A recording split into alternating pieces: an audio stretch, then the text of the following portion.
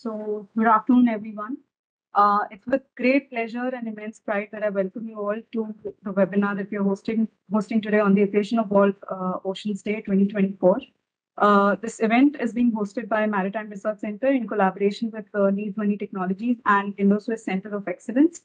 Uh, today, we come together as MRC interns, MRC fellows, MRC internal team members, and distinguished guests and invitees to celebrate and reflect on the vital importance of oceans. World Oceans Day is a global reminder of oceans' crucial role in sustaining life on Earth. Covering over 75% of the planet, our oceans are the lifeblood of, to the ecosystem, the regulators of our climate, and the source of sustenance and livelihood for billions of people. This year's theme, which was set by United Nations, Awaken New Depth, uh, Awaken New Depth, highlights the urgent need for collective action to protect and restore the health of our ocean. At the Maritime Research Center, we are committed to advancing our understanding of marine ecosystem through cutting-edge research, innovative technologies, and collaborative initiatives. Our dedicated team of researchers, fellows, interns, and partners work tirelessly to develop solutions that address the complex issues facing our oceans today. Today's webinar brings together a, di a diverse group of uh, experts, advocates, enthusiasts who share a common passion of uh, ocean conservation. Throughout the day, you will hear from our internal team members, our summer interns for the for 2024 batch, uh, who will shed light on the latest research finding, co conservation strategies, and policy development. We will also engage in thought thought-provoking discussions on how we can collectively contribute to the well-being of our oceans. Uh, to our MRC interns and fellows, you represent the next generation of ocean stewards. Your dedication and enthusiasm are vital for the continued success in our mission.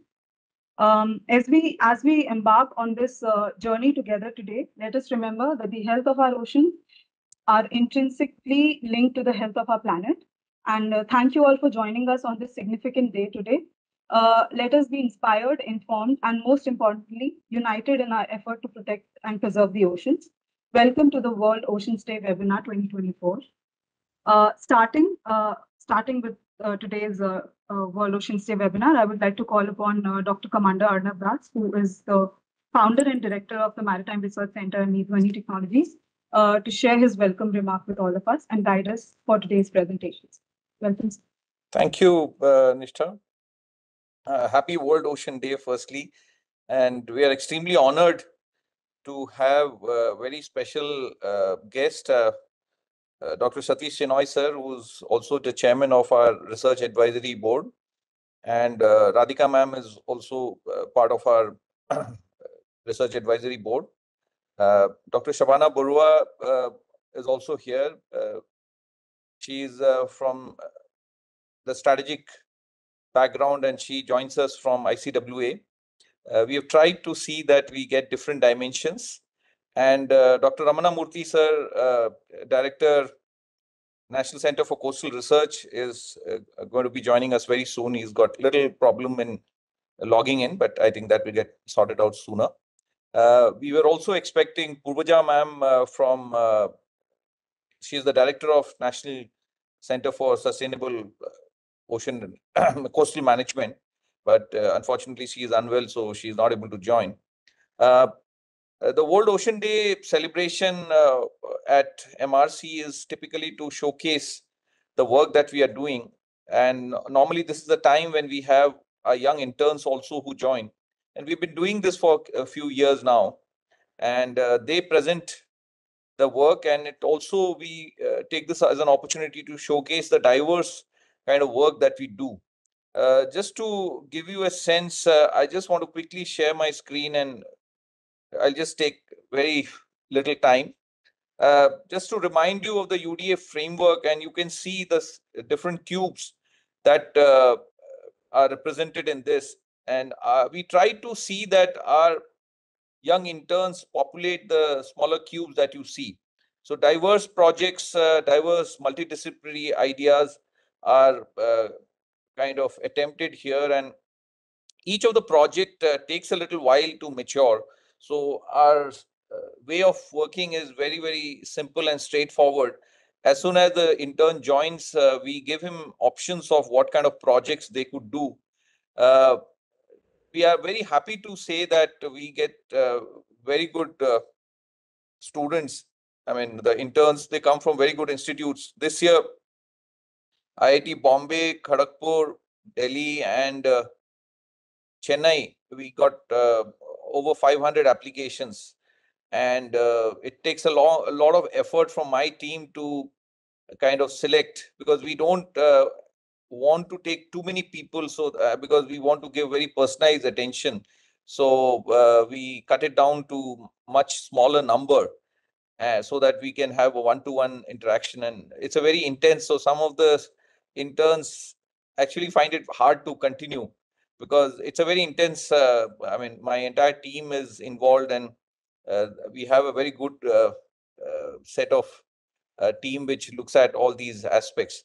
So what you can see is that all these projects first and foremost after the intern has finalized the title of the project that they want to work on uh, they embark on a literature survey uh, which uh, culminates into a research note so the research note basically gives a few of the research directions based on the literature survey that they do uh, we have probably almost 200 research notes already in our uh, uh, knowledge center.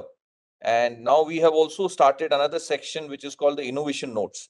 So if it is a very intense technology or technology development kind of a project, then they also go into an innovation note, which basically uh, specifically talks about uh, certain. Uh, I mean, we could also call it a startup idea. So it has been the innovation note has been designed in that manner.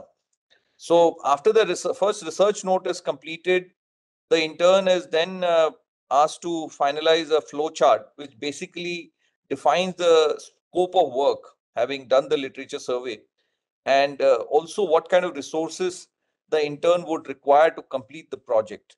And then they also write a small 1500 word article, which we call it the UDA Digest issue brief, which basically announces what this project is and what the project aims to achieve. Uh, and uh, that is published in our UDA Digest platform, which I think now has more than 120 uh, articles of different uh, types. Uh, you'll be given more inputs on that. And then they uh, move on once the project is very clearly defined, the scope is defined, then they move on to either a second research note. If it's a policy kind of a work, then it goes into another research note. But if it is a technology work, then it goes into a innovation note. And then at the end, uh, they would submit a, a short report, uh, which give, uh, kind of summarizes what they have done and how they, uh, what have they achieved. So this is the broad journey of an internship. And once uh, uh, they complete the internship, some of them also continue with us as a research fellow. So we are happy to, you'll be meeting uh, a couple of our uh, uh, research fellows also who, I mean, we have some of them who have been with us for more than two years now. And uh, so they look at something more serious and they take it forward from that perspective. And now they are also guiding the next lot of interns. Uh, I mean, the uh, uh, research fellows who have uh, spent enough time and they have a lot of experience. Apart from me, Sridhar, Catherine, uh, they they also mentor some of the interns because it becomes more specific to their domain. You will get a sense of all this that I'm trying to tell you. So now the digital transformation has become a very very important issue. So I want to just draw your attention to marine spatial planning. Uh, Shenoy sir and Ramanamurthy sir will definitely relate to this. Uh, that uh, this is now becoming a very very important aspect. So we look at uh, marine spatial planning in a very, very different manner. We are focusing on the modeling and simulation approach because conventionally the Western approach is uh, data collection and uh, very intense sensor deployment, which is, I feel, uh, very, very cost intensive and also hardware intensive, which is uh, sometimes I would say it is not viable.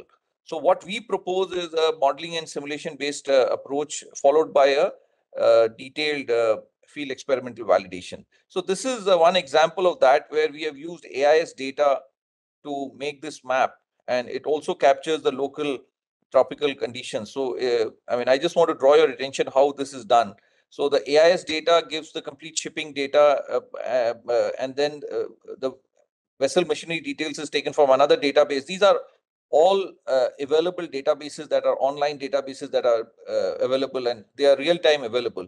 On the other side, you see real time data available on from the ETOPO database. And these are captured and the channel model is for the tropical waters is computed and these both are combined to get what you see here. So, and then uh, you can, uh, uh we validate this at certain location. So something like an Indian EEZ, which is almost 3.7 million square kilometers, can easily be mapped onto by using this kind of a method. And this will be extremely cost effective and efficient. So that's the approach we follow. And that, that is what you'll see different dimensions of MSP as we move forward. So I think I'll stop here, not take too much time, and I'll hand over back to Nishtha. Thank you, sir. Thanks a lot for apprising us uh, of all the details that you just talked about. Uh, moving ahead, I would like to call, I would like to welcome Dr. Satish Shenoy, sir, uh, who is the member of MRC's Research and Advisory Board. Uh, a little bit introduction about uh, Dr. Satish Shenoy. He's currently serving as the director of the Indian National Center for Ocean Information Services, INCOIS. Um, in recognition to his outstanding research contribution in the field of ocean sciences and technology, the Ministry of uh, Earth Sciences honored Dr. Satish Shenoy with the National Award in the field of ocean science and technology for the year 2018. Uh, so thank, thank you very much for joining us, uh, Dr. Satish Shenoy. We would like to welcome you. Thank you. Thank you very much. Uh, and a very good afternoon to all the participants of this um, celebration of uh, World Ocean Day. And uh, wish you all a happy World Ocean Day. At the outset, uh, let me thank uh, MRC, specifically Director uh, Commodore um, Arna, Dr. Arnab Das, as well as um, other colleagues of his. Um, Mrs. Catherine is always uh, on touch with me for such functions and um, provides all the information. So thank thank you very much for uh, uh, inviting me to join this uh, uh celebration. Uh, just a small correction. Uh, I am former director of uh, INCOIS. currently, I am working as um, a chair professor of Ministry of Earth Sciences. It's a post retirement. just just to um, made it known to um, all the participants. Uh, when we talk about the uh, World Ocean Day, which was formally announced by the UN General uh, General Council uh, in 2008, uh, because uh, oceans are getting more and more prominence because of the evolving world order, because um, in several aspects and uh, as we know that uh, the same oceans are coming under the under threat now. Of course the oceans are strategically important for uh, various reasons for trade uh, commerce etc etc and um, for the security and um, uh, peacekeeping in the world itself. Uh, but the threat on the ocean has increased more from global warming and climate change now and also because um, all the pollutants are finally ending up uh, in the oceans.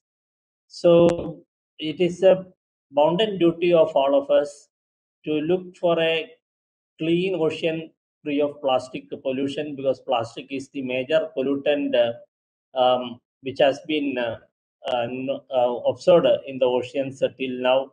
Of course, other chemicals are also pollute, and uh, but most of them remain uh, as a local pollutant rather than uh, uh, worldwide pollutant. But plastic is no longer like that because first of all, the plastic cannot degrade and it has it never dies even in our four generations lifetime. It stays there so it it goes uh, anywhere it goes uh, uh, from india to um, US uh, uh, or uh, Japan or somewhere that far, as well as it goes down to 5,000 or 10,000 meters below the water column and pollutes the entire water column.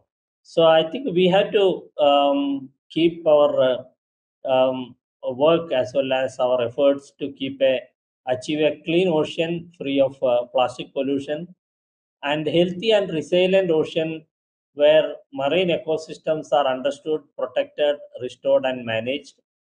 Similarly, a productive ocean supporting sustainable food supply because we all know that the oceans uh, provide the uh, uh, major chunk of food uh, what we consume, especially the protein uh, in the form of uh, marine fisheries and other mollusks and other forms.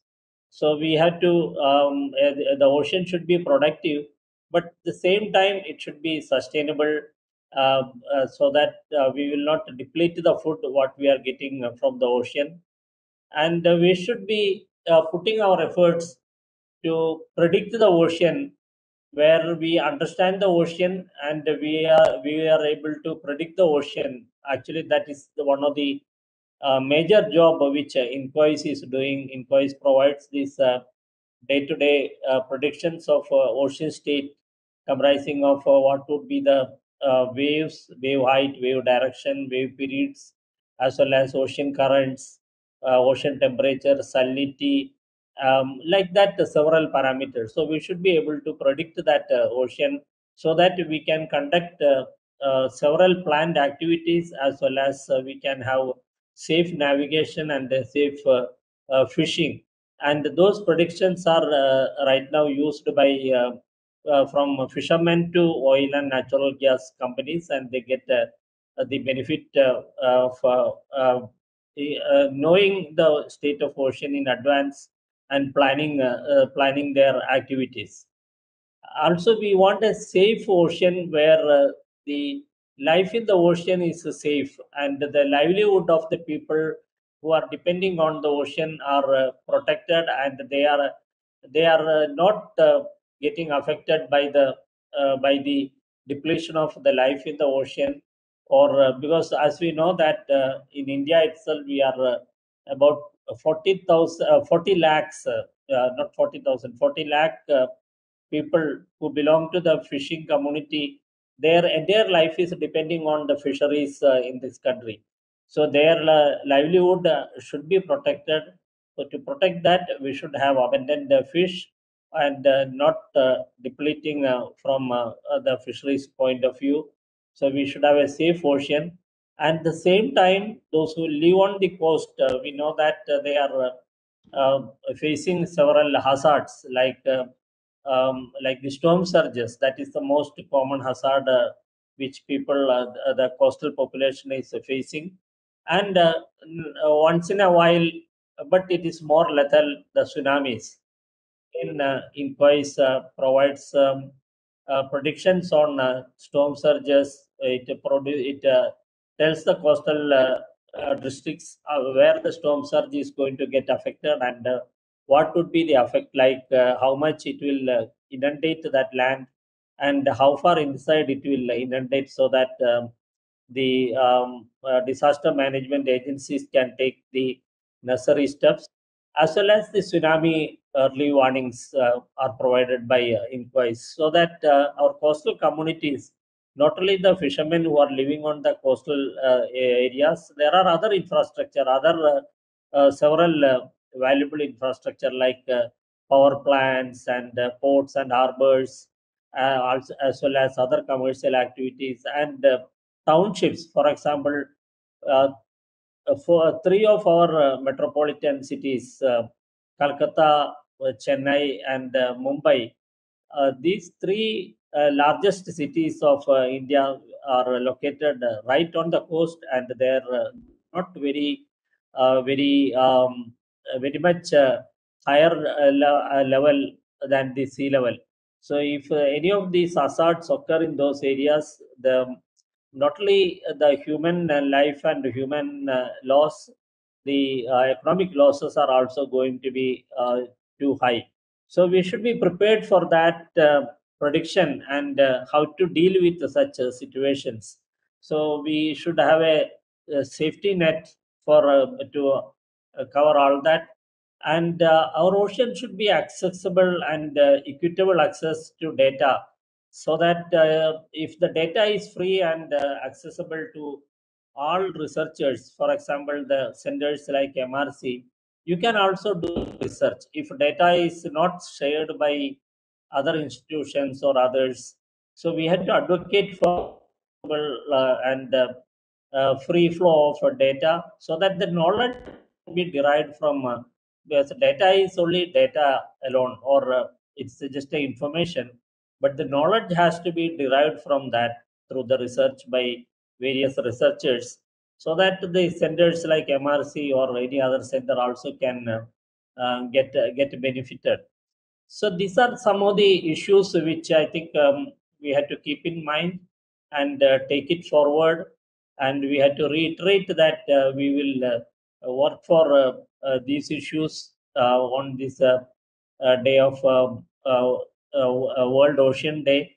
And uh, uh, before I conclude, let me also mention about the uh, diversified work which uh, the MRC is uh, engaged in. I see MRC's work in uh, three categories actually because of my association with MRC for the past uh, uh, few years and also um, getting the first-hand information on uh, attending such review meetings. Um, one is uh, the science. There are uh, projects which are uh, working purely from the point of view of science, and second category are uh, the technology-driven uh, projects, or the, they are trying to develop some or other technologies. And third is more on the policy research, especially the strategic importance. I think this is a good uh, combination, and uh, I haven't seen any other uh, institution in India getting engaged in all these three diversified uh, uh, kind of uh, topics and working from the same under the same roof um, to achieve all these um, um, all these three diversified goals. One is um, policy research, as well as technology and science science research. And I wish all the best for MRC on this occasion, and look forward to listening to some of the um, uh, talks by the youngsters uh, who has already carried out. Of course, I have uh, heard about uh, uh, most of the youngsters earlier as well, but I am sure there are new students also in this group uh, for today's presentation. So I will let me see how much I can prolong because I have another meeting also to attend. So I will stay on for as much I could. Um, otherwise, please excuse me if I uh, if I log out uh, uh, in between because I had to join another meeting a little later. Uh, so with these words, uh, let me once again um, congratulate um, uh, MRC and its uh, staff as well as uh, director, staff, and uh, the students and interns who are uh, working uh, at MRC. And I must also congratulate uh, or appreciate uh, director as well as the planners of uh, this function that instead of keeping just one or two lectures, they have asked the they are going to have a sort of a review. Actually, on the celebrations day, that is what we are supposed to do. It is not that just a celebration. We have to look back and review what we have done and what we can do and what we could have done. So I think um, uh, this uh, planning is very good. I appreciate that. So with these words, let me conclude and thank you. Namaskar, Jai Hind. Thank you so much, sir. Uh, really appreciate your comments and as you guided us, sir. Uh, uh, we are also, I mean, we have divided our team into uh, three broad categories. As you said, policy is definitely important, but backed by technology. So we have a technology team also, and these are one of the best people uh, working in technology areas. Uh, and the third aspect is uh, we also have uh, we call them MRC engineers because uh, there's a lot of infrastructure required to carry on research. So now we have in the last uh, one year or maybe one and a half years, we have started focusing on the backend infrastructure which will support the research. Although we are a very small organization, but uh, uh, my team led by uh, Sridhar Prabhuraman, he's unfortunately not well today, so he's not here. Uh, but he uh, he has been focusing on the uh, infrastructure as well. So you'll get a flavor of the presentation has been planned in that manner that you'll get a flavor of all the different types of work that we are doing. Before I hand it over back to Nishtha, I would also like to warmly welcome Ramanamurthy sir. Uh, he uh, could not join initially because of some technical issues, but uh, thank you very much, sir, for joining us. And uh, we take this opportunity to showcase our work to you. And uh, so I'll uh, hand over to Nishtha to take it forward. Thank you so much, sir. With this, we move on to the next segment and we'll have three presentations in the next segment wherein the research engineers from the Maritime Research Center will talk about their work and what they do in the backend work and the data, analysis and other things that they do. So firstly, I'd like to call upon uh, Ayush Sagar, who is a research engineer at, uh, at the Maritime Research Center. Uh, Ayush is going to be taking us through the program of the internship that happens at MRC and also he'll talk briefly about the UDA platforms that we approved over the years. Ayush, you may take over. Uh, good afternoon, everyone. I am Ayush Sawad, a research engineer at MRC. In my role, I focus on coordinating internships, managing our website, and organizing events. Today, I am excited to present an overview of our uh, prestigious internship program at the Maritime Research Center, and I will also give an overview on these four UDA platforms that we run. So, the Maritime Research Center has its multiple internship uh, programs throughout the year the internship could be for eight weeks, six months, and up to one uh, year for multidisciplinary students and also for uh, professionals and faculties who would like to upgrade their career opportunities. It will be a project-based program, so uh, to expose the participants to multiple issues and aspects based on real-world problem solving. And now we have also came up with this structure that if a student or any professional is interested in doing internship, first they have to go through the e-learning modules, which is mandatory for internship. Then I am thrilled to announce that we have uh, also received 500 plus uh, application from different IITs across uh, various domains for our uh, research intensive internships, which span a duration of two months. Then our backend team shortlists this application, followed by two uh, rounds of interview. The first uh, interview is a communication round where we assess the students' interest and basic communication skills. Then second uh, is the technical round where we evaluate their technical expertise in their field of study and their knowledge of underwater basics. So once uh, they are selected, interns undergo a comprehensive uh, onboarding process. This includes orientation session led by our experienced uh, team and uh, all the information and resources, uh, resources are provided to help interns get started. So each intern is then assigned a specific real world uh, research topic to work on for the duration of the internship. Over these two months of uh, uh, internship, they have to submit their uh, uh, deliverables like uh, mind map submission, uh, three UDA digest issue briefs, innovation notes, research paper, and the final project pre- presentation. After successfully completion of this internship, certificate and letter of appreciation have also been awarded to the students. And interns, those who showcase outstanding performance, are also offered research fellowships. Then coming towards the uh, four uh, UDA platforms that we run, we have UDA Digest, Learning Center, UDA Dialogue, and Knowledge Center. So uh, going uh, to each platform, so this is the UDA Digest. Uh, it is a basically e-magazine uh, which was established in the year 2021. And by the time 2022, we started receiving articles from the experts of the domain. And it has four uh, formats. If you see issue briefs, commentaries, expert articles, and short reports. So only uh, the fact that these differ from each other are the word limits. Then um, around 100 plus articles have been populated over here in a, in the different categories maritime security, blue economy, skilling India, and this. And moving towards the next platform, uh, we have this learning center. So we have uh, created a series of uh, e-learning modules, which has also been populated on the government website. iGOT Karmayogi, uh, the government website, and uh, it has been uh, uploaded to sen- sensitize the uh, diplomats and bureaucrats. Then we have this uh, four uh, upcoming modules also that we will be populating soon. Then moving towards the next platform that is UDA Dialogue. So we have conducted many events, workshops, seminars. So all the video audio part has been uploaded over here.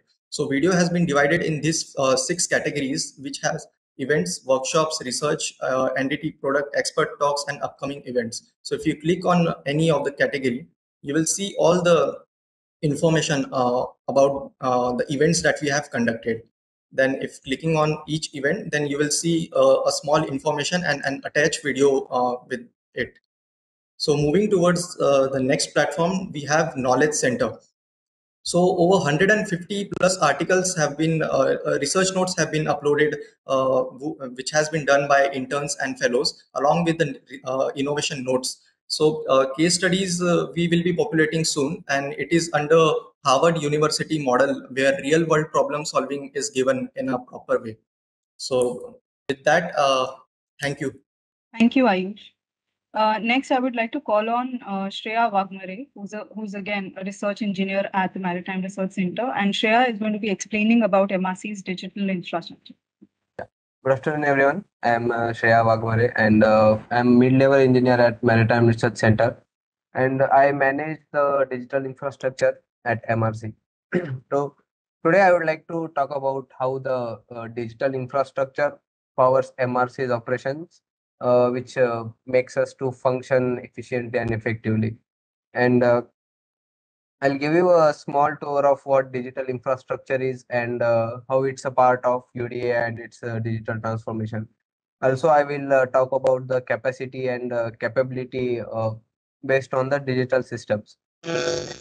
About the UDA and digital transformation, my approach to this session will be solely based on the digital infrastructure point of view. So moving ahead, uh, first I'll uh, give you an idea about what digital infrastructure is and uh, how it makes the difference. So uh, digital infrastructure is uh, like a foundation of services or tools which supports the use of each and every digital technology that we use daily. So like it includes everything like it is cloud computing, whether storage, whether it is servers, so at MRC, digital infrastructure plays a very important role uh, it reduces the offline management of all these hardware systems. And as you can see, all these uh, mm, due to digital-based cloud infra cloud-based infrastructure, we we can see the huge percentage difference uh, between what to do and uh, the I mean, how much capacity of research and uh, development can be increased through the online digital infrastructure. And it it uh, it reduces the management part of this hardware structure by a remarkable percentage also. And uh, that actually makes a significant uh, difference in how mrc works. So to give you an idea so this uh, the uda framework this figure uh, it provides a clear path for stakeholders like uh, strategic security digital transformation. So all of them to engage effectively and uh, collaboratively so in which digital transformation plays a very important role in uh, acoustic capacity and uh, capability building. So the way Cube refers to the uh, sensing and analysis regulation. So it is all backed up by the support of uh, safe and uh, secure digital infrastructure. Now uh, let's see what are the components of infrastructure that enhances this uh, capacity and capability building. So as I mentioned, implementation of UDA framework, it is backed by a huge research team and innovation team, which includes uh, various research, projects. So they mostly work on the real-time data processing, analysis, modeling, and simulation, and that requires a higher computing power as well as storage capacity also. And uh, that is actually available at a single click of a button. And this is possible due to the uh, integration of and use of this digital infrastructure.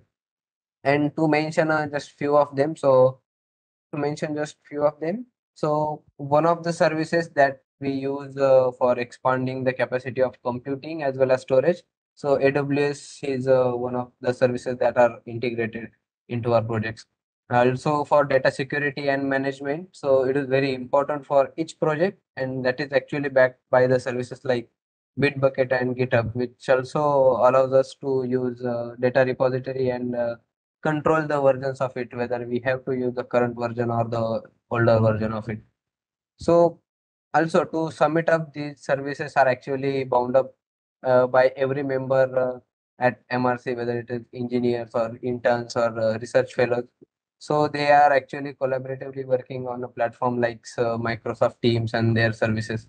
So MRC's vision uh, let all of us to continue to embrace and uh, utilize our digital infrastructure to the fullest uh, potential that it can give to us. And uh, I would like to uh, thank. Uh, I would like to end up on a note that digital infrastructure is not just about the technology; it is about rethinking your entire business model. And thank you, everyone. And I wish a very happy World Oceans Day. Thank you. Thank you, Shreya. Next, we move on to Jay. Uh, Jay Pinjarkar is also uh, um, MRC research engineer, and uh, Jay is going to be speaking about the UDA database management. So my name is Jay Bhanudas Pinjarkar. I'm working as a research engineer at MRC. So in MRC, I'm mostly handled the technical part related to the MSP and along with the research work in it. Alright. So going about the uh, UDA data management. So our vision at MRC is uh, very simple and clear uh, to keep the data in accurate, consistent and ac- accessible along the all the organization. By considering the compliance with uh, the uh, digital uh, data security also, by understanding the, its scalability. So by considering the major aspect of marine spatial planning, the data is a major thing that ne- need to be managed in a very accurate way. So we have the infrastructure, uh, cloud-based infrastructure, uh, which was very secured, and the MS, uh, M, uh, MSP that uh, MRC proposed is completely based on the modeling and simulation. So we structure our data uh, by considering the modeling and simulation part. So we divided the data in two major parts, that is open source data, and another one is a field data. So in the um, in open source data, we have performed the modeling and simulation parts. So uh, likewise, the uh, upcoming entrants are also going to talk about the advanced um, collision avoidance systems uh, by using the AIS data and SAR data. Hmm. And one more project is there from using the SAR data, the detection of the aquaculture ponds. So that's how we build the model using this data. Uh, apart from the only the op- open source data, we have the uh, MOs with the different organization. So uh, that can be also uh, uh, used to build our models. Uh, going to the field data, so according to whatever the project need to validate the model uh, that will build. Uh, so to validate the models, we itself perform some validation data field uh, on field validations also. So likewise, we did in the Khadakwasla Dam. Uh, we also have the Goa datasets and Galgad, uh, Gal- Ganga uh, datasets also. Um, along with that, uh, whatever the research has already happened. Uh, so whatever the data source uh, or data sets are on field are uh, available on the trusted for platform. So we also refer them. Likewise, the AI triple data uh, sets are also available. So this data is organized in a, such a way that it is accessible uh, to all the entrants, the researchers in a, a very uh, useful manner because uh, lots of uh, re- rework is reduced by organization by organizing this data. Uh, and we ensure that at MRC the data will be uh, very you know stored in a very secured way. Yes, that's all from me. Thank you. Thank you, Jay. Uh, thanks to all who presented in this segment. We'll move on to the next segment now. We now we have the MRC project presentations, and all of the four project, uh, all of the four like there are sets of presentations that we have. Uh, the topic number one for today is sediment management, and uh, this topic is going to be led by the MRC fellow uh, Romit Kavre. So now I'd like to call upon Romit Kavre, who, is uh, an MRC fellow, and he studied his done his studies from IIT Delhi.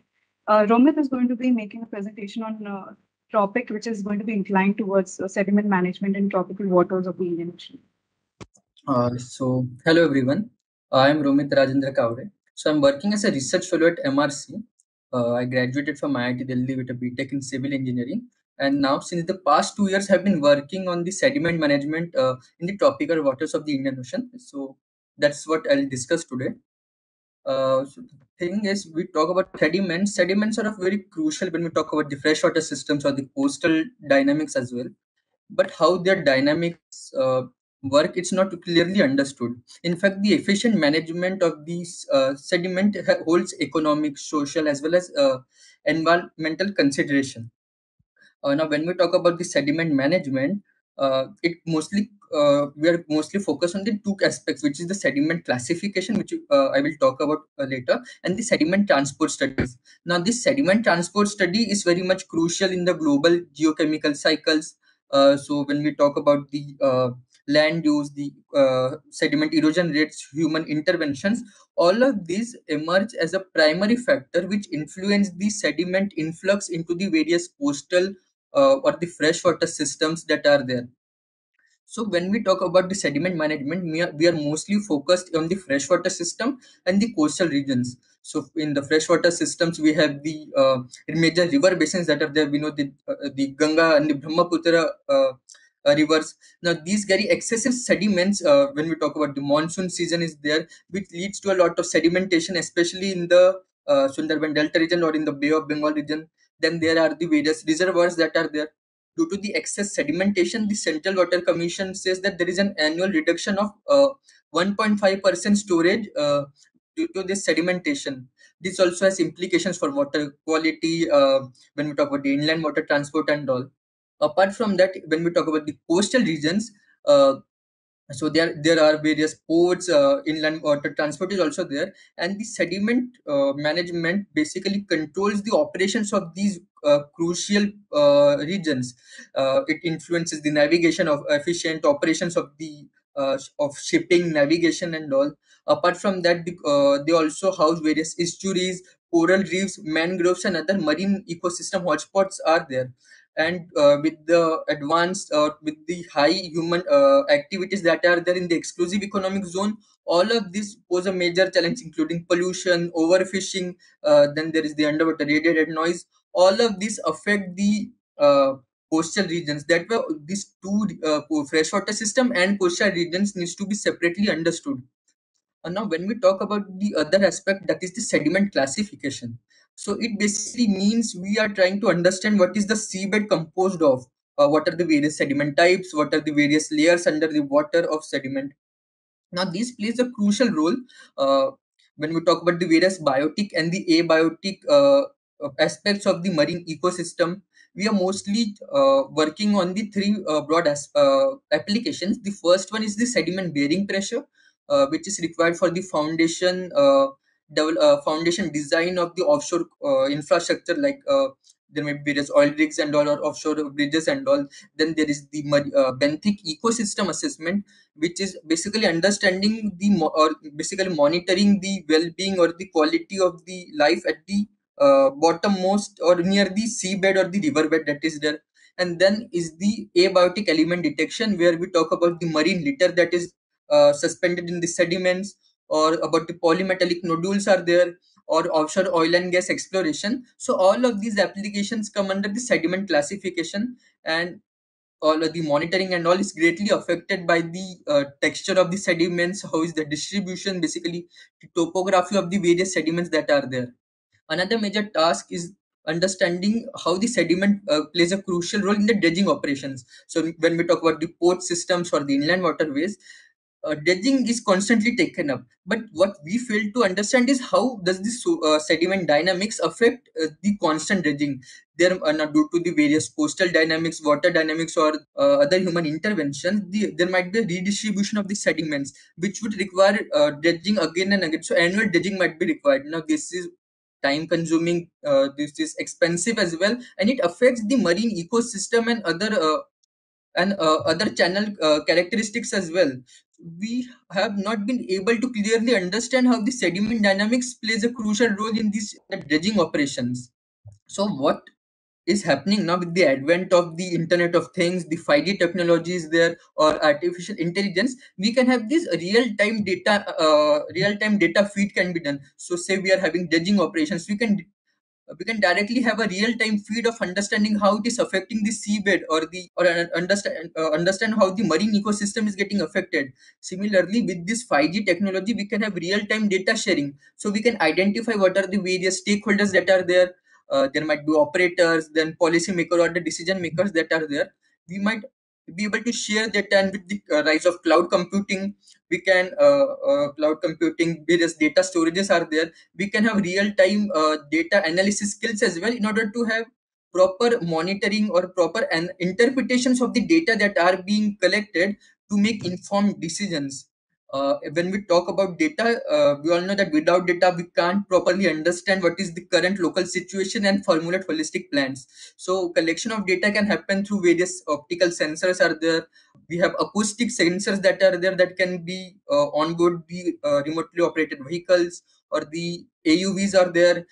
Large scale modeling and simulation tools have also been developed for a large scale understanding of the of our vast oceans. But all of this uh, require a significant amount of data. And as we know that the indian ocean lacks significant amount of data whenever uh, if i talk about even bathymetry as well the mh370 case shows that a mere uh, 2 to 3 percent of the seabed is being studied for bathymetry. So indian ocean lacks the most basic data as well. But when we talk about data collection and all we fail to understand what are the crucial tropical conditions. Now the indian ocean is more uh, is warmest amongst the uh, pacific ocean or the other major oceans or water bodies.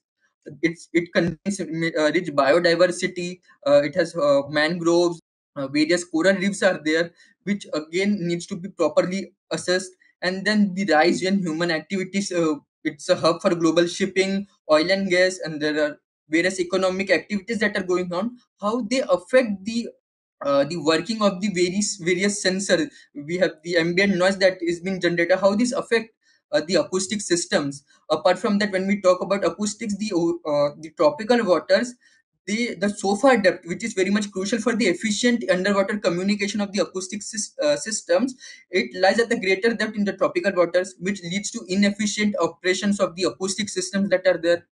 Thus whenever uh, the systems are being developed uh, we have challenges of background uh, noise which comes from the various biodiversity or from various economic activities that are there. Now this leads to the uh, problems in deployment calibration and maintenance there are various constraints for the uh, equipment and the operational cost of these acoustic sensors. And thus whatever systems that have been mostly imported from other part of the globe the efficiency reduces to around 60 to 70 percent. Now what does it do? It makes india reliant on the western technology rather than developing our own uh, systems. Thus what we are find, uh, trying to understand is for each of the applications of sediment management we can have this 2c to understand to share model uh, for the data collection. So in 2C, we can understand what are the various hardware requirements, various sensors that are required for initial data collection. And then once the data is collected, we come to the to understand part. Uh, we see due to the noise fluctuation or the medium of uh, medium propagation, it may instill various uh, noise into the raw data. How we are going to filter that data, uh, uh, filter that data, and then make it in a and then make uh, good interpretations from the data. What are the various algorithms? So we have machine learning algorithms, uh, various noise filtering algorithms are there. How are we going to apply them in order to interpret the specific data that we want for specific stakeholders?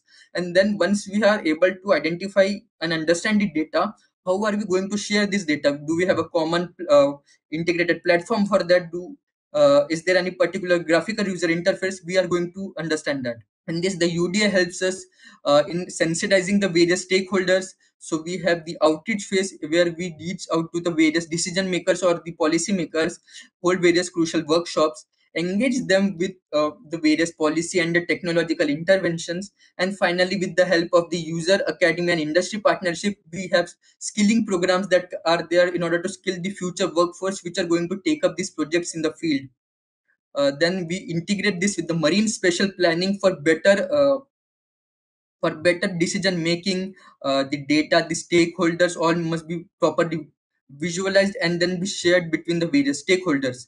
Thus what are uh, what are we looking is understanding how can we collect uh, how can we go on with the data collection integrate them with the specific stakeholders have the policy objectives the technological interventions in order to form a holistic uh, integrated sediment management approach. So this is uh, what our work has been there.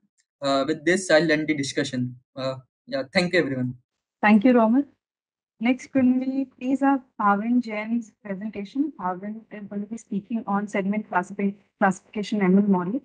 And Bhavin is currently working as an MRC intern and he's from IIT Bombay.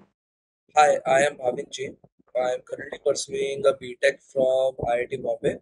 I've completed my second year and currently pursuing a research internship from this prestigious institute, Maritime Research Center.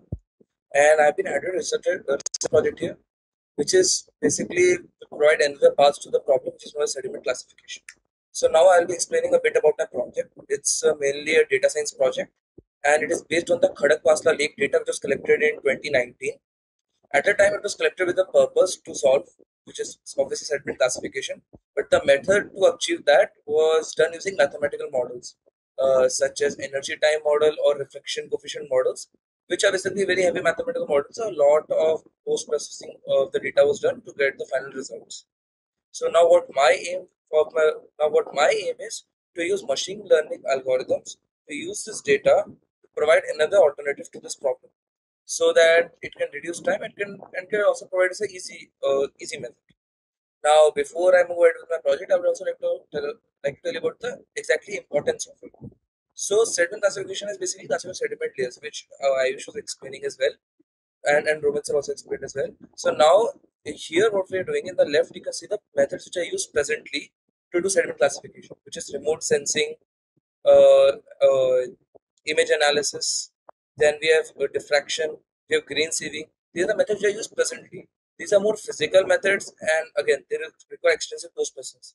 Now, what I will be using will be based on neural networks and support vector machines, which are basically uh, ML types. So now, what will be my roadmap for this project? Now, my project uh, output will be mainly based on five inputs, which is time of reflection, amplitude of reflected signals, energy of reflected signals, reflection coefficients, frequency of sonar waves. Now, all of these can be calculated from the data, which is the data, the form of data you can see on the top right corner. So basically, I've been handed signal amplitude values from the sub bottom profiler, which was the instrument used to collect the data. Now, using the Hamiltonian transform, we can calculate all these values which are mentioned on the top left. And later, I would be dividing this data into different parts to get my training data, testing data, and validation data for my final ML project. Currently, I'm in my uh, currently I'm in my knowledge collection phase where I'm trying to understand what the data exactly is and trying to calculate these values of parameters. I'm moving ahead through the course of this internship. Now, this my project holds a lot of future potential, such as it can uh, in the future, if this gets successful, one type of data, we can incorporate other types of data. Also, we can we will need to increase the accuracy of algorithms such that it can be used for high level research operations. Now, another issue with sediment classification, any research method is which is based on ground, is that it requires a lot of physical costs and time. Uh, so, if we use methods which do not require that much on uh, on physical interference, such as remote sensing, then we can also eliminate the issue of physical data collection. This can all be done remotely, which will be a, a very big change in the methods for calculating sediment classification. So now I would like to end my presentation. Thank you for listening to me. Thanks. Thanks, Bhavin. Next, can we move on to Pradnya Kumbre from IIT Bombay? Uh, Pradnya is going to be speaking on the topic sed sediment management transport study. Hello everyone, I'm Pradnya Kumbhare. Uh, currently a research intern at Maritime Research Center and uh, I'm currently third year undergraduate from in electrical engineering department. And today I'll be talking about sediment transport study. So let us first discuss why sediment transport is important. So the monsoon season in India, it contributes significantly in excessive siltation. Let's uh, take, for example, the Ganga River. The Ganga River is one of the world's largest sediment dispersal system, uh, transporting an extremely high suspended uh, sediment load along with it. And uh, the sediment built up during this process, it impacts our uh, water body significantly. Our reservoirs are losing their uh, storage capacity, and it is not only about the reduced water storage, but it also increases the flood risk. Hence, addressing uh, the sediment management is extremely important for preserving our environment and ensuring the economic stability. Let us see what are the critical aspects and the effects of erosion in sediment transport. So, as I mentioned in my previous slide as well, the Indian tropical rivers that, that are responsible for bringing a large quantity of sediment. As a result, it causes immense erosion. Erosion and aggradation, these are two most important geological processes. These are the natural forces that are responsible for bringing down large amount of sediments. Now, as the water flows, uh, it, it transports more sed sediment along with it if it has more kinetic energy. It not only affects in rising river beds, but it also causes drainage congestion. Uh, it affects water flow and irrigation. Let's move to who are the various stakeholders in managing the sediment transport. This include government agencies that are responsible for uh, environmental protection, managing water resources. Uh, we, we also have environmental organizations that focus on preserving habitat and improving the quality of water. There are local communities who are dependent on rivers for fishing, agriculture, and transportation. There are many more stakeholders that are involved in uh, sediment transport. I've just listed few of them. Let us uh, see uh, the sediment management simulation models. So in my research project, I plan to use various simulation models for uh, studying uh, sediment dynamics, mainly focusing on three case studies that are Brahmaputra Basin, JNPT Port, and uh, managing this sediment in these cases are extremely important for ensuring the economic stability. I'll employ a trust model for Brahmaputra Basin and 12 3D model for JNPT Port and Gujarat. Lastly, let's move to the uh, overview of future scope to minimize the sediment transport. Initial step is tackling the sediment issue uh, by watershed management. By combining various engineering and bioengineering techniques, we can address the root cause of incoming sediments. Also, managing uh, already deposited sediments within the rivers, it requires innovative solutions like uh, sediment bypass and sediment pass-through interventions. A remarkable uh, solution is being uh, carried out by researchers, that is the bypass tunnels. These uh, bypass tunnels uh, can reduce sedimentation by 80 to 90% according to studies. Yeah, that's it from my side. Thank you everyone for listening to me. Have a great evening. Thanks, Padmaya. Now, in this in this set of presentations that we are going through, I'd like to call upon S. Arora Nandan from IIT Kharagpur. Um, he- he's going to be speaking on sediment management focused on dredging. Arun, you can take over and you can start your presentation. Um, hello everyone, uh, my name is Arlanandan. I'm a third year undergraduate student from the Department of Electrical Engineering at IIT Kharagpur. I'm currently a research intern at MRC. My project topic is sediment management focused on dredging. Um, first, let's understand the importance of dredging. In tropical regions, excessive sedimentation is a common issue that reduces the depth of water channels, which are crucial for navigation and the economy. The sedimentation issue can also impact uh, the normal functioning of ports and harbors. Dredging helps in these situations by removing the excess sediments from the water channels, ports, and harbors, and thereby ensuring proper navigation. But dredging shouldn't always be the go to answer to these problems, as they are very expensive and can cause major degradation in the local benthic ecosystem if done without proper planning. Um, my field of research is an understanding how to make the whole process more efficient and sustainable. Um, for example, application of UDA framework to the process of dredging will be helpful in various ways. By using the UDA framework, we can formulate guidelines and can build up a structured approach towards the problems faced during dredging. Um, for example, uh, understanding stakeholders is a big part in planning and designing phase of dredging, which can be facilitated by the UDA framework. As we know, dredging has diverse impacts on economy, ecology, and the local communities.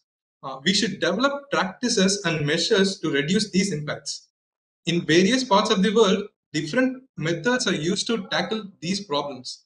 And since Western waters are different from our trop- tropical Indian conditions, uh, many of these methods and practices may be inefficient if deployed in India. Therefore, a study must be conducted focusing on our Indian conditions to reduce these impacts. Uh, let's take a case study that I have done focused on a certain water channel in Brazil. Uh, the sediment obtained from dredging proved to be uh, unfit for direct oceanic disposal. Uh, so they have so they have adopted a strategy of confined aquatic disposal, which hasn't been implemented in Indian waters. This method is proven to be an effective and sustainable solution for sediment disposal, as harm done to the local aquatic ecosystem is minimized. And considering Brazil is a tropical country like us, uh, these methods of sediment disposal can be adapted to our Indian waters in the future. And here are some other methods that I have observed from my case studies. For example, confined disposal facility is similar to confined aquatic disposal but uh, CDF is done on land. And uh, pneumatic flow tube mixing is a method to convert fine sediments obtained from dredging into useful materials that are used for construction and other economic uses. And uh, mitigation banking is a method that is often used in western regions. The concept behind this method is understanding the harm done to a region and compensating with improvement and uh, preservation of ecosystem in a different region, thereby reducing the net harm done to this environment. I'm currently researching and calibrating these methods, tailoring to our Indian conditions. Thank you. Thank you all. So with this, we end with the first uh, topic of the day, which was sediment management. Next, we're going to move on to the next topic, which is ESG, climate change, and blue economy. Uh, for this, I'd like to call upon uh, Catherine J, who is the head of publications and research at uh, the Maritime Research Center. Uh, Catherine is going to be speaking on the topics topic related to blue economy in the Indian Ocean region. Catherine, you can take over. Um, good evening, everyone. My name is Catherine. I am uh, currently heading the research and publication department at Maritime Research Center. Um, I've been uh, associ- I've been, I have been associated with uh, MRC for the past couple of years, and um, and I've also done considerable amount of work on marine spatial planning and blue economy from the policy perspective, uh, trying to integrate uh, the policy and technological aspects of blue economy. In this particular presentation, I will be focusing on how uh, UDA can be used to enhance blue economy in India. So, a framework for blue economy goals and integrated sustainable ocean management. In this presentation, I'll be covering uh, briefly the background, various challenges in blue economy, and uh, why UDA, and what are the benefits of this approach, and the future scope. So, uh, talking about the background, the concept of blue economy isn't new, and it has been there, uh, have been developing in steps since the 1970s uh, Stockholm Conference. And after that, uh, the adoption of uh, United Nations Law of the Sea gave another impetus to the whole uh, initiative. And various other conferences and reiteration of the goals has happened throughout the years. Uh, and recently, in uh, 2020, we uh, the United Nations declared um, this particular decade as decade of oceans, which uh, has given uh, an additional importance and uh, attention to the ocean economy and ocean sustainability. And following that, we've had a lot of collaborations, a lot of other conferences to talk about, to implement and to plan various initiatives. Um, and um, today, India's maritime resources is one of the major untapped uh, resources uh, in India. After having um, used up uh, pretty much uh, gone to the limit of uh, the land resources, we are now not just us globally. Everybody's looking to the oceans for various resources: food, medicine, uh, energy, etc. And uh, our economic zones are vast um, because of our uh, vast coastline, and uh, there's a lot of potential and opportunity to uh, to take initiatives to uh, make sure that our growing population is indeed catered to uh, sustainably. Uh, various key sectors, as I mentioned, are fisheries, shipping, uh, energy sector, the offshore energy, renewable energy sectors, biotechnology sector, um, medicine, etc. So I would like to uh, bring your focus to the, um, the the recent report by UNESCO, State of the Ocean Report 2024. On page 69, um, I find this uh, statement: persistent gaps in the ocean observing system, both spatially and thematically, remain, and there is also an there are gaps, and there is also an urgent societal need for more ocean observations to manage risk and adapt to change in ocean and weather systems and support sustainable blue economic growth. So, um, why this statement? We already have, I mean, the wa- ocean is vast. Is this a viable solution? You know, uh, getting more ocean observing system, is it viable? Uh, are we working smartly or are we just uh, deploying sensors and various other uh, satellite uh, to capture images um, without knowing what to do with all of that data? So, what is the smart work that we are missing here? So, what we are expecting is, according to the five pillars of New Ocean Agenda, is uh, ocean wealth, ocean health, ocean equity, ocean knowledge, ocean finance. These are the expectations that we've drawn. And what is the reality? Um, we are still faced with a lot of environmental threats. We are still faced with a lot of infrastructure burdens uh, for the oceans. Uh, just as I mentioned, a lot of observation, ob- observational uh, platforms, etc., and the failures related to that.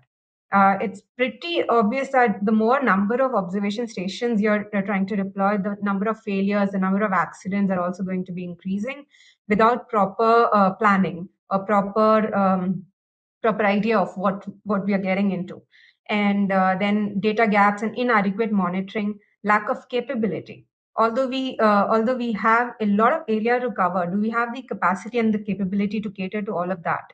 Uh, in terms of uh, the science, in terms of the technology, um, uh, etc. Uh, and then the stakeholder miscommunications. The stakeholders are diverse. So uh, there are, uh, because of the lack of data, the lack of capability and understanding, there is a lot of miscommunication, which will definitely lead to inefficiency.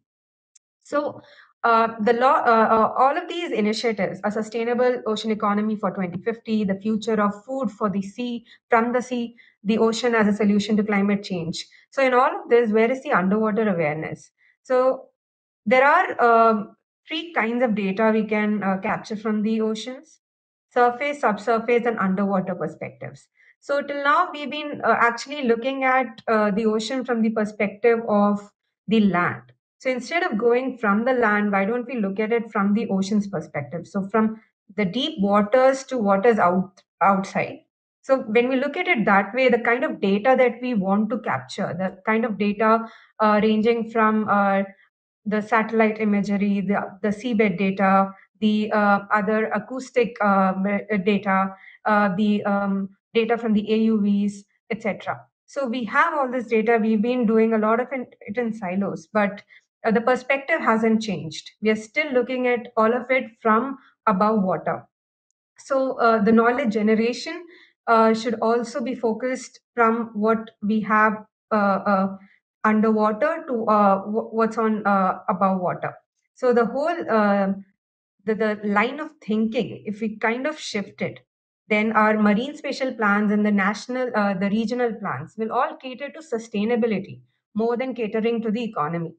Although both of them have substantial importance, but um, if we don't uh, take care of the environment, um, the the uh, economy will definitely die off after a point of time. So sustainability is definitely a key import, uh, factor, and um, if we don't focus on underwater, uh, the bio the biodiversity within water is definitely going to suffer. And all of this would require a new kind of capacity, a new kind of capability. And uh, this uh, approach is uh, uh, being offered by the underwater domain awareness, where instead of uh, focusing on and uh, collecting all of that data isn't possible, it's an impossible task. So the best way to go about it is modeling and simulation and using the open access data itself and various other kind of qualitative data as well. So qualitative data till now has not been used efficiently to make uh, plans when it comes to uh, ocean management. Uh, data, socioeconomic data, data on um, the uh, from the satellite imagery, uh, uh, etc. Even though it's been used, I think um, an interdisciplinary integration with um, with a lot of um, focus on uh, uh, what uh, the end goal, which is making sure that we are sustainably using the ocean resources, is something that's been missing. So underwater domain awareness uh, focuses on modeling and simulation and interdisciplinary in integration of data, which is possible through uh, artificial intelligence and machine learning. And then subsequently leading, uh, we can take it forward with field validation. So the field validation will involve, um, it, it, it isn't uh, resource intensive, but will give you the uh, expected results. And uh, capacity and capability building is also an integral part of UDA. So the benefits of UDA includes uh, it's economical and efficient, it's time saving, uh, it helps you make informed decisions, uh, predictive analysis, it's cost effective, leads to cost effective planning, gives you adaptive management strategies. It's resilient and accessible to a lot of stakeholders. So the application is that we have a lot of emergency scenarios where we need quick, uh, uh, uh, quick solutions and you know quick thinking, which is not possible with just deploying a lot of um, resources out there without integrating uh, all of that data properly. And uh, uh, the conservation efforts is also aided by UDA, uh, stakeholder management and participation, and livelihood generation. So with future outlook, if we integrate UDA with the national policies, not just blue economy policies, the fisheries, the sediment management, etc., we can uh, get a, uh, a, a holistic understanding of what is out there, and uh, and will lead to a thinking uh, from the sea to the land perspective. Um, and um, the uh, uh, in the future, we are also looking at skilling and livelihood generation uh, in all three categories research, technology, and the deployment staff. So, this will lead to a lot of um, socioeconomic benefits to the coastal communities as well. Thank you. Thank you for your time. Thanks, Catherine. Uh, next, can we have Akash Prasad from IIT Bombay uh, to make the presentation? Akash is going to be speaking on stati- statistical inference of climate change impact in the Indian Ocean region. Uh, sure, Nishtha. So, uh, first of all, a very good evening to all, to the panel. My name is Akash, and currently I'm a third year undergrad student uh, from IITB, and I'm pursuing my uh, majors in material science. As and as a intern at MRC, I'm working on the project, uh, the climate change in the Indian Oceans and how it has impacted the economic activities over the years and its forecasts. So first, I would like to start uh, with the, our current scenario and what are the potential threats of the climate change. So uh, I would like uh, first I would like to highlight the current scenario. Okay, so based on the suggestion of some famous reports like IPCC and the World Economic Fo- Forum, it is very much uh, imperative uh, for us to restrict the temperature change of the globe by uh, one uh, below the 1.5 degrees Celsius by the end of century uh, in fact, the anthropogenic emission of the CO2, which is happening due to the uh, industrializations and many other things, should decline by 43% and it should peak by 2025. Right. And uh, and in the scenario, if we fail to achieve this target, then it may lead to the trigger of the climate tipping point, uh, which is referred to the threshold change in the climate, after which the change is uh, irreversible. So yeah, so major threats of this uh, climate tipping point could include uh, that is the melting of the ice sheets from Greenland and Antarctica sheets, which may lead to the high sea levels and ultimately cause floods and other uh, change in the weather pattern. And if we uh, like uh, fail to resu- uh, reduce the sea surface temperature by 2 degree by the end of the century, so there would be a sea level rise, of course, of 0.5 meter so like we heard like we are hearing like there are many kind of uh, organizations like cop and various uh, agreement like paris agreement and related stuffs are getting passed. But uh, man, uh but no major impact has been seen on the ground level up till now. So this is a problem of concern. And if we talk about the if we talk about the underwater domain so major chunk of the blue economy uh, for any country is contributed from the underwater resources itself and uh, uh, a slight but in a slight change in the underwater temperature can lead to the various kind of uh, harm harm to the underwater ecosystem. For example a slight change in the uh, slight change in the temperature may lead to the coral bleach and it may have further cascading unfavorable, unfavorable consequences. From depletions of high quality fisheries uh, productions to the degradation in the seaweed cultivations. And yeah right the underwater uh, domain is getting affected in form of the ocean acidifications or the uh, rise in the temperature and the dissolved O2 concentration being decreased. So there's a huge con- and in fact it has been predicted, uh, right? If the scenario remains the same, there would be a decline in the fishing production by the 21 percent, and which will lead to the loss of around 300 million, uh, 300 million uh, pounds by 2050 so i have uh, like plot i have like included a plot of the time series for the ocean heat content. So what is happening? Climate change had led to an increase in the net uh, ocean heat content over the years and it, is like visible from the graph. The there's a positive net heat content over the years which is quite concerning. And if you see uh, to the world map and we can see uh, we can have uh, like uh, a look that the in fact the tropical waters and all compared to them uh, compared to other waters let's say temperate and Ar- arctic have more uh, ocean heat content. And ocean heat content may lead to the decrease in the oxygen concentrations as well as the phytoplankton which are essential nutrition for the fishes and other creature to grow. And uh, yeah. So uh, like also the rising uh, ocean heat content has like degraded the quality of the habitable zone for them and forcing them to migrate to some other places. And hence the fishing uh, production for any country is affected due to this. So first of all i would also like to uh, uh, like to highlight why it is in fact important for the indian ocean uh, to deal this climate change. As we know like as in the previous slide i mentioned about the uh, more uh, ocean heat content in the tropical. And in fact if we go from the facts uh, or the stats the net ocean heat content is more for the uh, ior region itself. And because the increasing uh, demand for the ior region both from the economic and the strategic point of view. So uh, it uh, the world power is shifting toward it. And in fact the ior itself ser- serves around the one third uh, population of world third world population being only 20% of the earth's surface.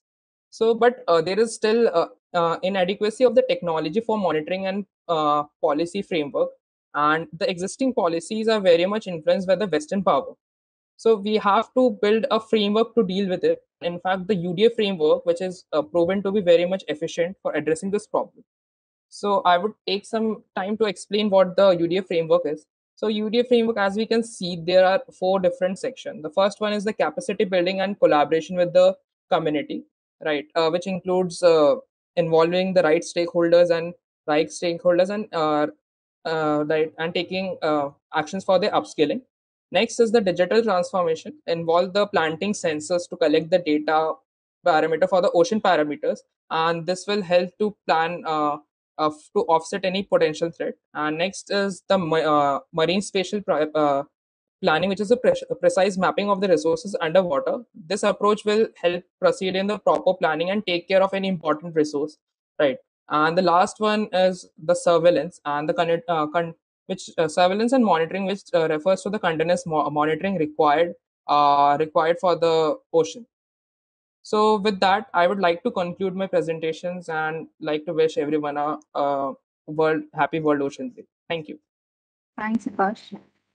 Uh, next, can we have Anjali Kumari from IIT Kharagpur? Uh, she is going to be presenting on the topic water resource management. So first of all, uh, good evening everyone present here. Uh, my name is Anjali and I'm a third year undergraduate student in the Department of Chemistry at IIT Kharagpur. Currently, I'm working as a research intern at Maritime Research Center and my research topic is water quality management system. So today I'd like to present a short presentation uh, regarding my work. So the topic for uh, today's presentation is water quality in India, a contemporary uh, perspective. So moving to the next slide. Uh, so uh, I have been researching since last month and had a lot of literature survey on this topic uh, from different institutions like IIT Kanpur and research reports from uh, Center Board of Pollution Control, uh, etc. Uh, there I found that uh, 70% of uh, India's surface uh, water has already been contaminated and I found that a huge uh, there uh, there are uh, a lot of uh, factors that affect the water quality, and among them, uh, uh, among them, uh, one of the uh, key factor uh, is increasing urbanization. That is uh, basically the industri- industrialization, where we are using uh, fresh water. Basically, the in fact the drinking water, which is uh, not essential uh, for industrial purposes. Then, what is the uh, importance of my topic? That is to ensure safe drinking water, sustainable agriculture, and healthy ecosystem. Then, my goal is to identify uh, key pollution sources, uh, assess its impacts, and propose optimum solutions for that. Then, uh, what are the significance uh, to protect public health, support economic growth, and preserve natural resources? So now, uh, what are the optimum uh, solutions for a water quality management system? So as uh, we already know that there are already uh, a lot of technological interventions that have taken place, uh, which aim to integrate advanced technologies for water quality management system. But what we and different stakeholders need to understand that uh, the the policies and the frameworks that are written on the papers need to be uh, followed in real and at a ground level because it has already been too late to focus on this issue and we need to have that fear of uh, uh, huge what scat, uh, scarcity by the next few years. Uh, so uh, what my approach for this is that first of all i had a, a rigorous research on the topic where i wherein i uh, had uh, gone through a, a lot of research reports existing methods and available data uh, and currently i'm analyzing uh, what are the technological and policy gaps uh, uh, in those uh, available methods and data. And finally i would be proposing if there are some better solutions for for the existing for the existing solutions that are available. If yes then i would be incorporating in my uh, research note and yeah uh, however uh, the best solution could uh, nothing be better than the prevention rather than cure so uh, we need to uh, understand the seriousness of this problem so uh, finally, uh, what are the future scopes of this solution? So uh, once I uh, complete my research and I'm at a stage of proposing some unique solutions to those, I would be incorporating them with the UDA framework, which has uh, four components like uh, blue economy, uh, strategy, security, uh, digital transformation, and sustainability and climate change. So with this, I would like to uh, conclude my presentation for today. Thank you for uh, your attention and have a, a very happy World Ocean Day. Thank you. Thank you so much, Anjali. Uh, next, uh, so this was the end. Uh, Anjali was concluding the set of presentations for the topic uh, ESG, climate change, and water resources. Next, we'll move on to the next topic, which is uh, digital transformation. And this topic is going to be led by Shlok Nimani. Uh, Shlok is a fellow at MRC and he's done his studies from IIT Bombay previously. Shlok was an intern like the like some of the interns that you can see right now. He was also one of the interns, but currently Shlok works as a fellow at MRC. And in today's presentation, he's going to be speaking about digital transformation for sustainable economy. Shlok, you may take over. Hi everyone, uh, welcome to my presentation on digital transformation for sustainable economy. Myself Shlok Nimani, I am a research fellow at uh, MRC. Uh, I am with MRC for over uh, around two years and uh, I have been completing my BTech and MTech from electrical engineering from IIT Bombay. Will be graduating very soon. So here, why are we even talking about all this? Why have I started talking about the blue economy, the sustainable economy, so here uh, on the left hand side, one can see how the overall production of shrimp in India have been increasing in the past decade. So this all has been attributed to the introduction of vannamei shrimp. On the second end, on the bottom right, bottom left, one can see on the global scale the shrimp production over the years. So there has been a uh, monotonic increase over the years, but the idea is what is the share of aquaculture versus the capture fisheries in. So here we are not only talking of as per the shrimp, but the idea is in the past uh, three to four years, we are seeing a very much interest of the parties as well as the government organizations toward the growth of fisheries and aquaculture in Indian Ocean region. So here, as a director of IFARD and CMFRI, uh, Gopal Krishnan sir has mentioned that India has the potential of producing about 10 million metric tons of seaweed. And uh, you will be like astonished by seeing the number which we are currently producing as per the last financial year, which is roughly about 35,000 metric. But uh, on the better note, we are touching our all-time high exports of seafood worth 8 billion uh, US dollars. And uh, the frozen shrimp, why even I am very much uh, interested in this particular species or the or, uh, organism is like uh, it remained to be the major contributor to the total export basket. We export our shrimps not only to China, uh, but uh, also to the West. And this our blue economy policy of 2020 it mentioned how india need to bind to global iuu regulations as well as the changing climate condition in IOR, as uh, my colleague Akash has pointed out, that uh, change in sea surface temperature can have a significant impact on change in the potential fishing.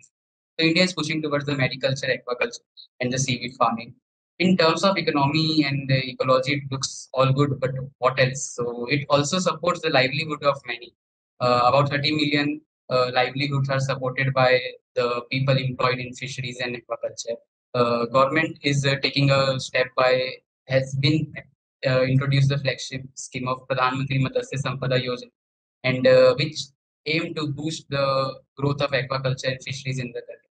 It also aimed to make this aquaculture industry highly rewarding because most of the farmers employed are the small scale farmers.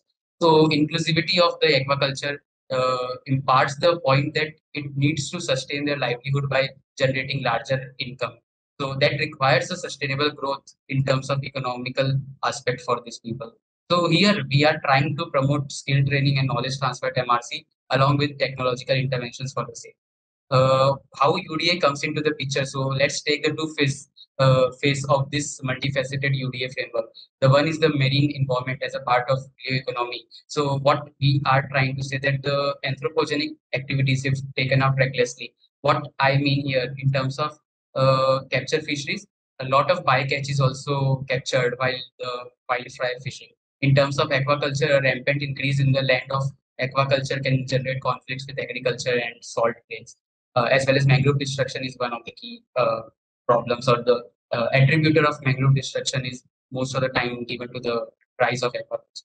Second is the digital oceans where we are saying the tech for good or the maintaining the inclusivity or equitability of the increasing aquaculture in the country. And uh, what is the idea here is the sensors can see much more than what human eyes can do. There are a lo- whole lot of hardware complexities involved regarding sensors, as my colleagues has pointed out that they can be acoustic, they can be vision sensors, and what all it helps us is to like aid to the 2C to understand and to share framework.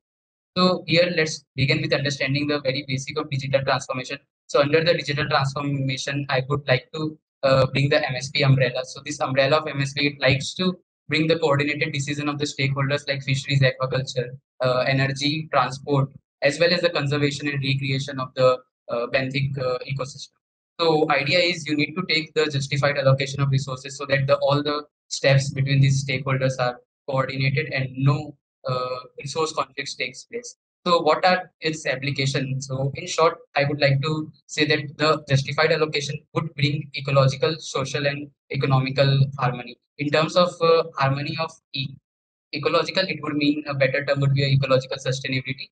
While uh, for the policymakers, this MSP can be a data-driven tool. So this is a data-driven tool for uh, policy making. In terms of ROI or the return on investment, we are already moving uh, under the government scheme of Pradhan Mantri Matsya Sampada Yojana, which aims to reward the growth and uh, growth of aquaculture. So idea here is if I talk about the aquaculture growth, so are we really focusing on the productivity or are we uh, more concerned with the increasing area? So uh, my colleague uh, Shashank will point out next about what is area concerns regarding the aquaculture expansion. Finally, productivity as well as data. Thanks. I think with this, uh, Shlok has concluded his presentation for today. And next, we'll move on to the next presentation, which is by uh, Sushank uh, Chigipalli, who is from IIT Kharagpur. And he's going to be talking about uh, aquaculture demographic digital mapping. Uh, so I'd like to call upon uh.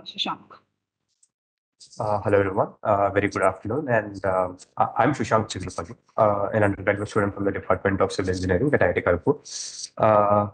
Uh, I'm a summer uh, research intern at Maritime Research Center, Pune. Uh, so I wish you all a very happy World Oceans Day. And I'm currently working on open pond aquaculture demographic mapping using satellite imagery and computer vision. So um, mangrove forests uh, sequester carbon much faster than other forests, so they are vital in fight against the climate change. When mangroves are degraded or lost due to uh, coastal aquaculture, uh, particularly farming, uh, they release uh, stored carbon stock back into the atmosphere, thus uh, significantly contributing to the greenhouse gas emission. Uh, nutrient transport due to this clearing of mangroves to adjacent ecosystems like uh, oceans causes biodiversity loss, such as seagrass, meadows and coral reefs, and also exacerbates the climatic variables. The extensive clearing of not only mangroves but also the agricultural land led to the conflict between agriculture and shrimp farming, resulting in land and water degradation. Uh, this shift has affected traditional livelihoods and employment uh, opportunities of locals uh, as aquaculture is less labor intensive uh, uh, compared to agriculture. Uh, despite these efforts, they play a vital role in food security and blue economy. So it is crucial to find a balance through sustainable practices. This requires identifying suitable land for aquaculture and tracking aquacultural demographic changes in the landscape to enhance uh, spatial planning. Next. Uh, uh, remote sensing, particularly using synthetic aperture radar, SAR imagery of, uh, of Copernicus data space, is uh, crucial for my project on mapping aquaculture demographics. Uh, uh, SAR's ability to penetrate through uh, clouds and vegetation, which allows us to collect consistent and reliable data regardless of weather conditions, ensuring continuous monitoring of coastal and aquaculture areas. Uh, this technology covers uh, la- uh, large area with less revisit time and also reduces the need for extensive field this helps us to monitor the ponds at very low low overall cost. Unlike traditional surveying methods, which are labor intensive, uh, remote sensing provides object to high resolution data that can be uh, analyzed with advanced uh, technologies like uh, uh, Geographic Information System (GIS) and computer vision. Uh, we, we use three computer vision models for our project: ResNet, Deep, Deep Lab, and Temporal Convolution Networks. This enables spatial mapping, precise spatial mapping, tracking of changes over time, uh, supporting uh, uh, sustainable aquaculture management and minimizing conflict with uh, other marine units. Next. Uh, uh, in my research, uh, we utilize uh, uh, Sentinel-2 data due to its high resolution multispectral imagery, which is crucial for identifying changes in land use and vegetation and health. Additionally, we integrate OpenStreetMap dataset to enhance the accuracy of spatial maps. Uh, we use sensing technology to precisely identify the graphic, uh, graphic coordinates of aquaculture points. This accuracy is crucial for uh, detailed spatial mapping, uh, ensuring that we know exactly where these ponds are located. Uh, by measuring the area of each pond by demarcating them, we can access the scale of aquaculture activities and uh, monitor the expansion over time. Uh, this data is essential for evaluating the environmental uh, footprint of aquaculture.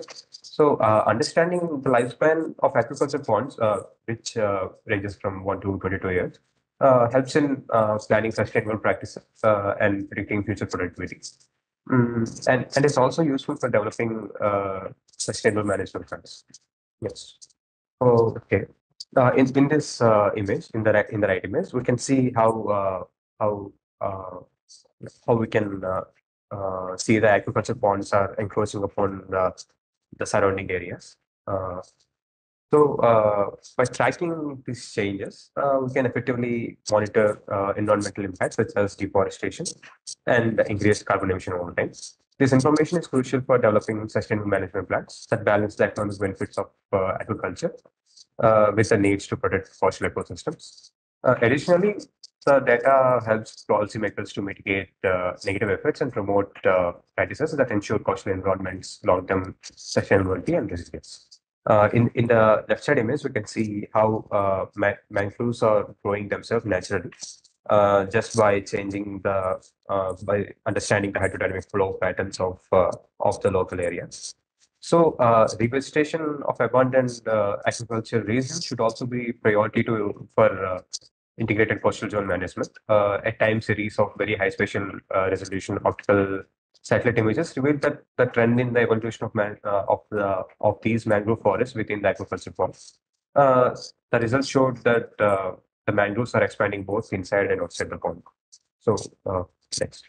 This is next. With this, I conclude my presentation, and uh, I wish you all once again a very happy World Oceans Day. Uh, thank you all for your time and attention. Thank you. Thanks, Shashank. Uh, now we have the concluding uh, presentation for this topic, and uh, I'd like to call upon uh, Aryan Awad from IIT Kar- Kharagpur. He's going to be speaking on the topic collision avoidance system using AIS data. Uh, so, Aryan, you can take over. Good evening, everyone. I am Aryan Avadh. Uh, I'm currently a third year undergraduate at the Indian Institute of Technology, Kharagpur, and I'm currently pursuing a Bachelor's of Technology in Mining Engineering. I'm also a summer research intern at the Maritime Research Center, where I'm working on a project to develop an enhanced collision avoidance system. The need for basically this project de- deals with de- developing an automated system for detecting collision probabilities based on state-of-the-art AI models and satellite image data. Now, first, to understand the importance of the project, we need to realize the need for a collision avoidance system. So, as you all know, uh, maritime transport serves as a cornerstone of the global economy, facilitating international trade and exchange of goods across the continent. Currently, as we speak, there are over 100,000 ships sailing simultaneously at the sea across the entire world. And to promote the global economy, the ship traffic has surged by great numbers in, in the last few years, and it has almost quadrupled from the period of 1992 to 2012. And even as we speak, it's going at an astounding rate of 10% every year. With such increase in maritime traffic, the pollution risks are also bound to increase. And as you can see from the data, about one third of all the accidents related to marine traffic are related to are related to collisions. And these incidents not only cause a financial risk, financial loss of over two billion dollars every year, but also cause an irreversible damage to the environment and marine life around the collision area. Now, since we have developed understood the need for a collision avoidance system, let us take a look at the existing technologies to solve this problem. Now, first we have radar and remote sensing technologies that use on-device sensors to detect the presence of nearby ships. And the problem with these type of technologies is the data input data for these sensors is very limited and they cannot accurately predict the trajectories of the ships around them and can only predict their locations. And then we have the code compliances. The code compliance basically stands for the uh, Convention of Maritime uh, Laws for Ship Regulations and Transport. And these laws are basically a set of rules that were established in 1972. And since then, the ship traffic, marine traffic has increased so much that they are not sufficient anymore to prevent all the collisions that can happen in high traffic dense areas. And then we also have some algorithmic methods that utilize pre-defined data or knowledge and only offer a rule-based approach to preventing collisions. They do not, they cannot take into account the real-time data, and this is one of the major drawbacks. So, looking at all these drawbacks, I have proposed a new method which uses uh, both the AIS and satellite data and also the state-of-the-art AI techniques to solve this problem. Now, with sat- uh, satellite data readily available, it's almost imperative to use this this for our project. And the main reason is with the availability of SAR data, it's very easy to recognize high uh, ships in high traffic areas from the satellite over a huge area, and not just the areas pertaining to one or two particular ships.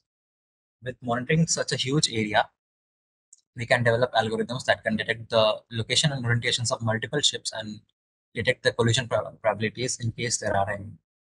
Also, for, uh, while dealing with uh, the satellite data, we can use state-of-the-art AI models, which which basically use computer vision technologies like the UNet, ResNet, or even transformer models that can very accurately detect the location and orientations of each and every ship present inside the area and can calculate probabilities of collisions even if there are very minimal chances. This is just a high level overview of how our project implementation is going to look like. And this is the data that will be captured by the satellite. And mostly we'll be focusing on areas that have very high marine traffic and hence high collision risks. And as you can see, the we can identify the position and orientations of each ship present in the particular region and we can sort of map the commonly taken ways and calculate the collision probabilities and risks based on certain threshold values. So this was the idea of my project and thank you everyone. Also wish all of you a very happy World Social. Thank you. Uh, thanks, Aryan. Thanks for your presentation. Um, so this was the end of the topic uh, uh, called digital transformation. Uh, we lost uh, Shlok in between. He was still left with a couple of more slides, but uh, because of like internet connectivity that he's facing right now, Um, he requested if we can continue with the presentation. I'm not sure if uh, he has been able to join us or not, but uh, by by the end of the other intern, by the end of the other presentations that we have, we might um, have uh, Shlok join us again and complete finish his presentation later on. Uh, but right now we move on to the next topic, which is underwater radiated noise management. Uh, I'd like to call on uh, Akshita Mangal from uh, from IIT Delhi to uh, make her presentation. She's currently working as an MRC fellow, and she'll be speaking on the topic ambient uh, noise mapping. Good evening, everyone. I'm Akshita Mangal, and I'm currently a research fellow at MRC. And I'm also a fourth year at IIT and coming from my majors is in mathematics and computing. So the topic of my presentation will be ambient noise mapping, and here is the flow of the lead, mathematical equation, source level, transmission loss, conclusion, and differences. So uh, first of all, I would like to introduce you the topic that I am going to speak about, which is the estimated uh, radiated noise. So the estimation of radiated noise from the marine vessels has become an important research challenge, considering that uh, marine animals basically use acoustic signals to communicate through each other.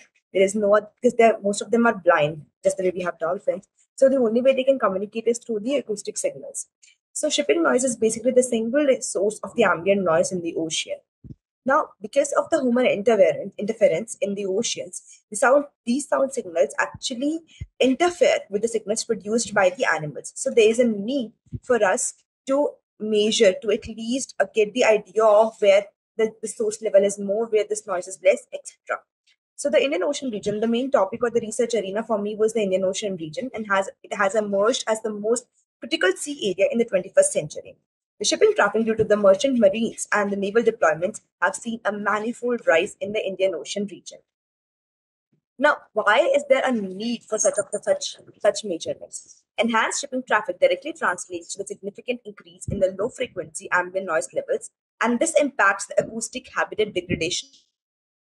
Just because of this much of the shipping traffic, due, maybe due to the uh, you could say because of the trade, because of the military purposes, because of the reasons, this leads to acoustic habitat degradation, which has a very, very major impact on the aquatic animals and also the coral reefs or maybe the other habitat over there. Marine species are known to depend on sound for functions like foraging, communication, navigation, finding mates for breeding, and more. Naval warships need to evade detection by their adversaries and thus have a critical requirement for acoustic stealth. Precise estimation of the radiated noise from the marine vessels will contribute to the acoustic capacity building and go a long way in ensuring effective realization of the underwater domain awareness. Now, coming, I actually mean by is this, but is that noise is just a normal equation, a mathematical equation that that that it, that it follows. So noise level is equal to the source level minus the transmission loss plus some of the error terms just because this noise calculation is an empirical thing and update every empirical thing in a mathematical equation there is some of the error terms. That's why we have the error term with us. So essentially, my topic, or you could say this uh, uh, this research work was divided into two parts. First of all, calculating the source level, and then calculating the transmission loss, and finally clubbing both of them together. Now, just subtracting them, we can get the noise level of a particular region. So SL basically represents the initial intensity of the sound source. The uh, received noise level is the NL, represents the sound intensity at the receiver's location. Now, this noise level will be further, uh, you could say, uh, will uh, will be able to frame a heat map using the basically the transmission loss, or it accounts for the attenuation of the sound energy due to spreading sound waves over distance no, source level. So what happens is that the calculation of source level basically come from different different models. There has been lot many models, like four of them I have kind of listed. We can model the Morris and Harvey model, Harbor Porpoise model, the sonar performance models. So basically these models have different, time zones. And also they were they were effective, or you could say the most effective in different different arenas.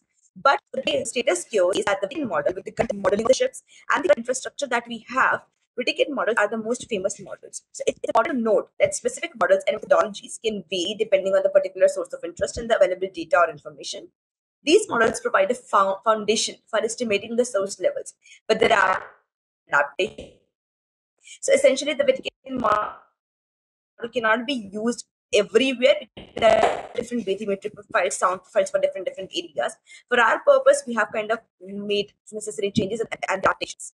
The Wittekind model or the Wittekind Kernel model is widely used for estimating the source levels of the ship noise. It takes into account parameters such as ship speed, ship tonnage, propeller characteristics, and the operating conditions.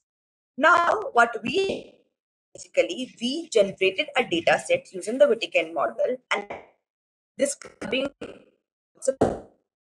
been trained on data registries and the real world recorded data clubbed together after proper validation has been used.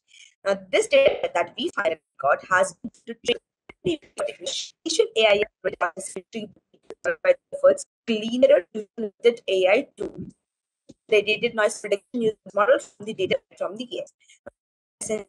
From this data that we got, we were able to get the source level. Next step was the, so for the transmission deep focus model of the waves the Indian Ocean region, taking into account and other uh, interactions, multipath modeling efforts, transmission loss. Now, uh, further, implementation has used this function made is the numerical integration of the wave equation. Now, actually just but we got data from the range model and then a deep neural network. Now, why? Uh, the basic equation uh, RAM requires and bit profile, sound profile, C density, consider we have a compound function to accurately estimate the transmission loss. Now, we the function, it that particular data right? And just uh, Akshita, I'm kind of at sorry for there uh, in one of you can answer. Uh, let's move to the next, uh, Nishtha. Uh, it's not audible at all. Can we have uh, Shweta Varshini from IIT Madras to make her presentation now? Good evening, one and all. Uh, I'm Shweta Vishni, pursuing my BTech Chemical Engineering from IIT Madras, now an MRC intern. Happy to present my topic today, underwater radiated noise management. And we will start with two important questions to be answered. Why is this topic and who are im- important? So let's start with the section of why. Here we will be discussing about the importance of the topic. Firstly, we have protecting marine life. As we all know, uh, going underwater, the intensity of light goes or reduces, and the only effective way of communicating or sensing things would be through sound. Accordingly, marine animals, especially waves, dolphins, and fishes, rely heavily on sound for communication, navigation, finding food, mates, or warning each other of dangers, and for all their basic needs. So, URN disturbs these sound signals of the animals, and also excessive URN can uh, stress the animals, and which can lead to organelle damages. Overall, it collapses the whole uh, marine ecosystem. Secondly, we have scientific research. Almost all scientific researchers underwater uh, on sound recordings for data. Excessive URN again disturbs the sound recordings and makes it difficult for the uh, scientists or researchers to collect accurate data. Thirdly, we have national security. URN management uh, focuses on um, noise friendly military vessels, which makes it harder for the enemies to detect uh, our military vessels and enhancing the national security. Now we will uh, move on to the who section. Here I have listed down important stakeholders involved in URN management, environmental groups, marine researchers, shipping industry, military industry, sorry, military and regulatory bodies, fishing industry, general public and tourism industry. Moving on, here uh, we will be discussing how UDA framework acts as tool for URN management. It helps in data collection and sharing, improved monitoring and enforcement, collaboration with stakeholders, and cost effectiveness. UDA framework relies on various technical methods such as sensors, satellite imaging, modeling and stimulation, and other digital tools to gather information about the underwater activity and also uh, helps in collect real-time data collection for monitoring purpose since there's already an existing frame uh, infrastructure it helps us to reduce the additional costs associated with uh, delicate URN monitoring programs. Moving on, uh, this is something interesting about the topic. Uh, not like any, uh, like it's a unique advantage of URN management. UDA, MSP, and URN management all works together and helps each other. In case of UDA and URN management, UDA can leverage its data collection capabilities to monitor URN levels and un- identify noise hotspots. Wider versions through URN management can improve UDA's effectiveness. In case of MSP and URN, URN management contributes to achieving the sustainable use of marine resources that MSP aims for. In case of UD and MSP, both benefit from a comprehensive understanding of marine environment. They can share data and collaborate to achieve their goals. Here I have listed down technological and policy interventions that are in place of action and under research.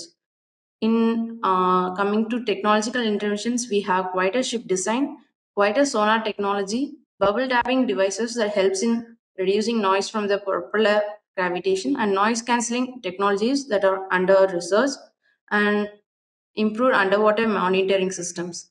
In policy interventions, we have international regulations, economic incentives, marine protected areas, environmental impact assessments, research and development funding, public awareness campaigns. In this project, I like to view the topic from environmental and socio-economical dimensions and study the potential area of applications, do a literature review of technological and policy interventions, and identify gaps and solutions through these interventions, and of course, ensure a sustainable development. And I like to conclude my presentation with a sweet quote Save the oceans as Earth won't be the same if the major part of its constituent goes polluted and dead. Thank you and happy World's Ocean Day. Thank you, Shweta. Uh, with this, we conclude uh, the previous set of topic that we had, uh, which was on URN management. And next, we move on to the last topic of today, which is maritime security in UDA. And we have one presenter for the same. Uh, can I please have Shraddha Gajiwal from Symbiosis School of Liberal Arts to make her presentation? Uh, Shraddha is going to be speaking on the topic maritime security in UDA, exploring the non-traditional threats and challenges. Uh, good evening, everyone. Uh, today's presentation is a brief about my topic, um, uh, about my project on the topic maritime security in the underwater domain. Uh, moving on to the introduction, uh, maritime domain awareness is a critical component of maritime security, which includes the effective understanding of anything associated with maritime domain that could impact se- security, safety, economy, or the environment. However, this concept needs to be extended to include you, uh, underwater domain awareness, which specifically addresses the unique and increasingly prominent challenges and threats lurking beneath the ocean surface. The hidden depths of the ocean, once considered inaccessible and secure, have now emerged as arenas of potential conflict and illicit activities. This presentation um, on my project aims to explore the non traditional threats and challenges in the underwater domain, such as submarine espionage, sabotage of undersea underwater cables, and underwater drug smuggling, etc. In the same context, the main aim of the presentation would be analyzing the policy gaps and the role and the importance of underwater domain awareness framework in mitigating these issues. The topic of this, uh, the choice of this topic is underscored by contemporary examples such as the alleged uh, Russian sabotage of undersea cables, Chinese spy ships lurking in the Indian Ocean, and the use of narco drones or autonomous underwater vehicles for smuggling drugs to Australia, illustrating the pressing need for improved underwater security measures. Moving on, a very uh, small brief about the issues. These underwater threats, as mentioned above, pose uh, significant challenges to national and global security. Submarines, with their stealth capabilities, gather intelligence undetected, exemplified by uh, Cold War incidents like the Soviet K 129, um, etc. Undersea cables, uh, critical for global communications, are vulnerable to sabotage, as seen in the 2017 Syria outage, impacting financial markets and military communications. Furthermore, drug cartels increasingly use semi submersibles for narcotics transport, complicating detection efforts due to their low profile and ability to operate beneath the surface. Moving on, um, underwater maritime security confronts significant policy gaps characterized by uh, fragmented regulations, inadequate technological infrastructure, and limited international collaboration. Current policies lack coordination among stakeholders and fail to address the rapid advancements in autonomous underwater vehicles and unmanned drones, etc. Insufficient technological capabilities, particularly in regions like the Indian Ocean, hampers the effective underwater awareness. Additionally, the reluctance to share the sensitive data due to uh, national security concerns hinders collective efforts to combat underwater these underwater threats. And uh, moreover, legal definitions and frameworks are outdated too, complicating the application of rights and duties for operations uh, or activities which involve uncrewed vessels or remote controlled uh, activities. And most importantly, the Maritime Domain Awareness Framework, which was established in 2005, overlooks underwater threats, lacking comprehensive strategies for detection and mitigation. Addressing these gaps requires a multifaceted approach to tackle these issues. Now comes into the picture the UDA framework. The UDA framework is pivotal in enhancing maritime security and resource management by providing robust threat detection and uh, response capabilities. Through the deployment of advanced sensor networks, UDA enhances surveillance and improved monitoring system uh, um, that ensures uh, that potential threats are detected early, allowing for prompt and effective responses. Um, and moreover, strengthening international collaboration is another significant advantage of implementing a UDA framework. It uh, encourages data sharing and cooperative uh, efforts among nations, addressing common underwater threats more effectively. By fostering uh, or developing international cooperation, the UDA framework helps in creating a unified approach to managing and mitigating underwater security risks. Moreover, the UDA framework optimizes uh, resource utilization and promotes sustainable economic development. By providing precise information on underwater resources, it enables better planning and execution of security strategies, reducing the strain on military resources. Uh, lastly, the UDA framework integrates data from various sources, including sonar systems, satellite imagery, and maritime patrols, uh, to provide a comprehensive understanding of underwater activities, leading to effective identification and analysis of certain threats. And response strategies under the UDA framework are multifaceted, involving rapid response units and coordination of international naval forces. By providing real time data to decision makers, the UDA framework enhances the ability to respond effectively to potential threats. Um, to conclude, um, the evolving nature of uh, these underwater threats necessitates a proactive and collaborative approach to maritime security. The intergovernmental organizations such as BIMSTEC, IORA, and the Indian Ocean Naval Symposiums, and many more, should incorporate the UDA framework to strengthen their security efforts and address the unique challenges of the underwater domain. The UDA framework offers a promising solution, enabling nations to navigate the uncharted waters of underwater security with greater confidence and effectiveness. And these are my list of references. Yeah, that's about it. Thank you so much. Thanks, Shraddha.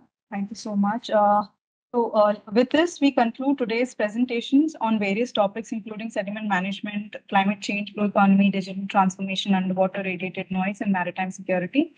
Uh, we shall now move on to the next segment, which is also the concluding segment, wherein we'll have the esteemed dignitaries uh, who will share their, and we will request them to share their feedback and also uh, their kind remarks. So we have with us uh, Mr. M.V. Ramanamurthy from the National Center for Coastal Research. Uh, sir has been involved with uh, with the Deep Ocean Mission as well, and he uh, currently is working with the National Center for Coastal Research of the Indian Ministry of uh, Earth Sciences. Uh, sir, can we have uh, you for your kind remarks now? Thank you very much. And then first of all, happy Ocean Day. And thanks to Commander Arnab for calling me for this webinar, especially. And then it is almost like a different kind of webinar because I've been attending uh, in World Ocean Day where I will be giving talk and then others will be listening. I think it was uh, something different than what it is there. And happy to see a very good presentations by many number of students they are enthusiastic, and then also some of the information what they are gathered and then presented, it is apt, and then uh, they are in right direction. And I also compliment MRC uh, for this important uh, initiative of uh, calling interns, especially from academia. Most of the things, most of the people, I think the students are from the IITs, which makes it a lot of lucrative for the future blue economy policy that is going to be implemented by the government of India. In fact, though it is only at the beginning, uh, but most of the things have been captured by the students from the various IITs and then other universities for that. And my compliments to all the students who have presented the important topics which is relevant for the blue economy. Because I will be reading some of the topics uh, here and there from the policy perspective and technical perspective. I'm really happy to see such a wonderful comparison from the youngsters and then who gathered the uh, right kind of information and then projected today for that. Uh, so this is about the compliments from the my side, but other side for the improvement of MRC, uh, what I also suggest is I think some of the presentations, uh, what they have presented on the right direction, but uh, I feel that suppose if some more information is given to the students, uh, instead of uh, starting from the scratch and then uh, getting into the internship and then going forward, maybe you can explore the opportunity of some of the experts who are all specialized in, especially UDA. I'm not telling exactly on the UDA, but applications related to the ocean. So that will help them in identifying the right kind of problems and also and uh, understanding the practical problems for the solutions what needed from the country in the future. And also, uh, while doing uh, such kind of uh, internship by the students, they will also enjoy because they are actually implementing the what is required for the country, and then it is being taken up by the some of the institutions within the country for that. This is my first observation. The second one is on the marine spatial planning. Uh, I think you are looking at in a different perspective, but I saw when we develop MSP, uh, our focus was mostly on the uh, resources. I think focusing on the economy, inclusive development, what we call it as a society, and then finally the ecosystem, which is very important for the future generation. And then how do we protect while balancing the development in the future for that. MRC, as such, the perspective uh, when we see for that, especially when we draw the MSP, uh, to update all the students also today on that, I think mostly Arnab knows about that.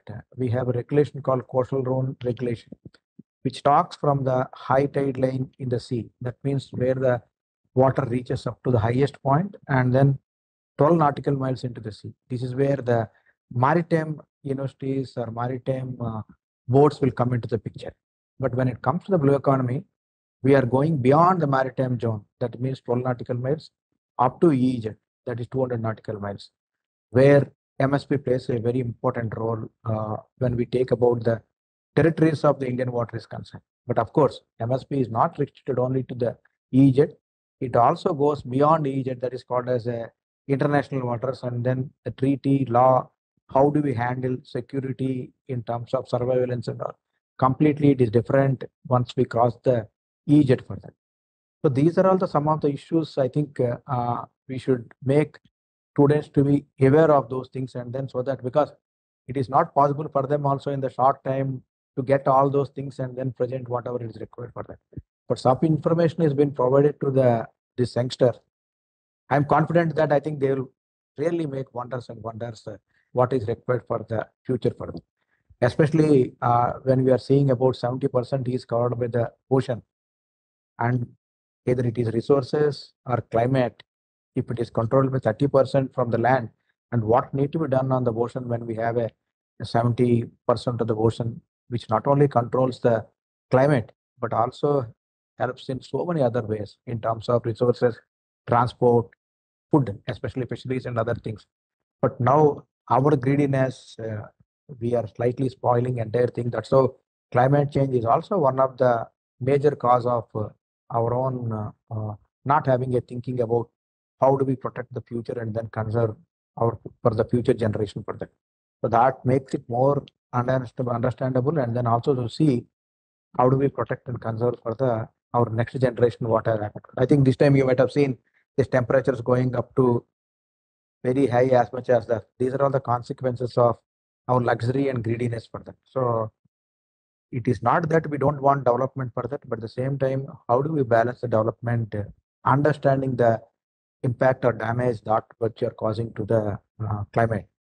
The damage will happen in one day, but restoration will take, it can be months, years, and even decades to get back to the normalcy for that. So we have to be very cautious in conserving and protecting the ocean for the our future generation for that. And then all the presentations which were made by the youngsters are really wonderful, beautiful, and then is apt for the uh, ocean for that. I don't want to bore because I think uh, you already taken a long presentation for that. If I speak more on that, again, I will also think that, oh, this guy is coming and presenting at last minute, lot of stories for that. We should not do for that. Let us see how do we work together with youngsters and then see which they like and enjoy and contribute to the country and also to the world ocean. Thank you, uh, Mr. Arnab, and then thank you, moderator. I think your moderating was wonderful. I think keeping in the time and then bringing all the people on the on board further. Thanks to both of you and thanks to the MRC. Thank you. Thank you, sir. Uh, thank you very much. Uh, we definitely take note of the points that you have said. And uh, as you said, sir, we will uh, start our discussion with you and uh, request your time so that we can present, uh, because today there was a short time. We have been also doing a lot of documentation ourselves, and we would like to share those details with you and then work under your guidance to contribute to the larger national cause. And uh, uh, uh, your words will be definitely uh, be important for us because, as you rightly said, sir, I mean, since we work on policy, the government's uh, views and the policies are very important. I am part of the uh, Blue Economy Task Force of FICCI. Uh, uh, so uh, we have some in- uh, understanding, but definitely there is a lot more to be done. And there are so many aspects uh, to be learned. So we will definitely take this conversation forward and really thank you for sparing your valuable time and joining us today, sir. Thank you very much, sir. Thank you. Thank Krista, you, we sir. can uh, end the thing. Uh, thank you very much. Uh, all of you made a very good presentation, as sir has also acknowledged. Uh, we are quite pleased with your work and we need to take it forward uh, even more. Thank you all. Thank you so much, sir. Thank, Thank thank you. you. Thank, thank you to all. Thank you, sir. Uh, thanks to all the interns, all the fellows, and all the internal team members for making uh, this wonderful uh, day special for all of us and for very uh, doing a great job at your presentation. Thanks a lot. With this, we close the webinar.